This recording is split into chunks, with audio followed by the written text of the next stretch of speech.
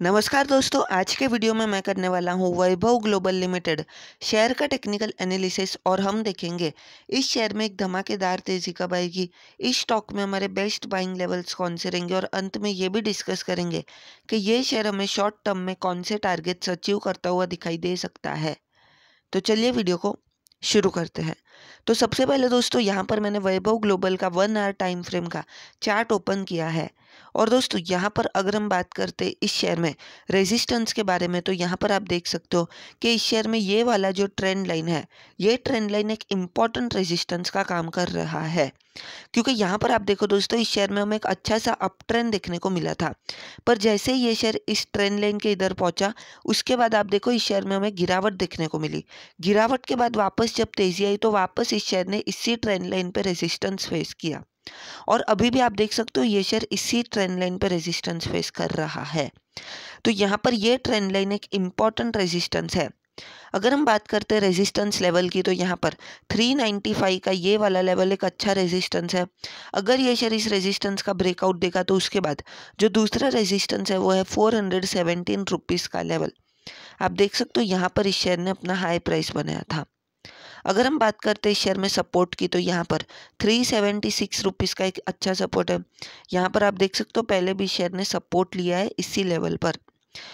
दोस्तों, अगर हम बात करते हैं दूसरे सपोर्ट की तो यहाँ पर थ्री सिक्सटी रुपीज़ का जो लेवल है, ये लेवल भी मुझे एक इंपॉर्टेंट सपोर्ट दिखाई दे रहा है। क्योंकि यहाँ पर पहले इस शेयर ने कई बार इसी लेवल पर रेजिस्टेंस फेस किया था। तो अभी ये शेयर इसके ऊपर आ गया है तो ये लेवल इस शेयर के लिए एक सपोर्ट का काम कर सकता है। आइए अब हम अप्लाई करते कुछ इंपॉर्टेंट टेक्निकल इंडिकेटर्स और देखते हैं ये इंडिकेटर्स हमें क्या सिग्नल दे रहे हैं। तो दोस्तों, जब तक मैं एमएसीडी और आर एस आई इंडिकेटर को अप्लाई कर रहा हूँ, तब तक आप वीडियो को लाइक कर सकते हो और अगर आपने चैनल को सब्सक्राइब नहीं किया तो ऐसे स्टॉक मार्केट रिलेटेड अपडेट्स के लिए चैनल को भी सब्सक्राइब कर दीजिए। दोस्तों, यहाँ पर आप देख सकते हो कि M A C D indicator में हमें नेगेटिव हिस्टोग्राम जनरेट होते हुए दिखाई दे रहे हैं। इसका ये अर्थ है कि एम एस बैरिश दिखाई दे रहा है। यहाँ पर दोस्तों आर एस आई भी बैरिश है क्योंकि आर एस आई लगातार नीचे जा रहा है और आर एस आई की वैल्यू 50 के भी नीचे आ गई है। तो यहाँ पर दोनों टेक्निकल इंडिकेटर मुझे थोड़े थोड़े बैरिश दिखाई दे रहे हैं। दोस्तों अगर हम बात करते हैं इस शेयर में ख़रीदारी करने की तो यहाँ पर आप इस शेयर को तभी बाय करो जब ये शेयर अपना ये रेजिस्टेंस ब्रेक करता है। अगर ये शेयर इस ट्रेंड लाइन को ब्रेक करेगा, उसके बाद इस शेयर में एक अच्छी तेज़ी आएगी। तो दोस्तों, अगर ये शेयर 395 के ऊपर जाता है तो उसके बाद जो सबसे पहला टारगेट रहेगा, वो रहेगा 417 का लेवल दूसरा टारगेट रहेगा 435 रुपीज़ का लेवल पर दोस्तों, अगर ये शेयर ये रेजिस्टेंस ब्रेक नहीं करेगा तो यहाँ पर गिरावट आने की भी संभावना हो सकती है।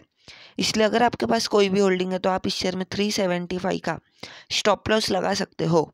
तो आज के वीडियो के लिए बस इतना ही। ये वीडियो एक एजुकेशनल वीडियो था, इसलिए इस शेयर में मेरी कोई भी बाय, सेल या होल्ड की सलाह नहीं है। धन्यवाद।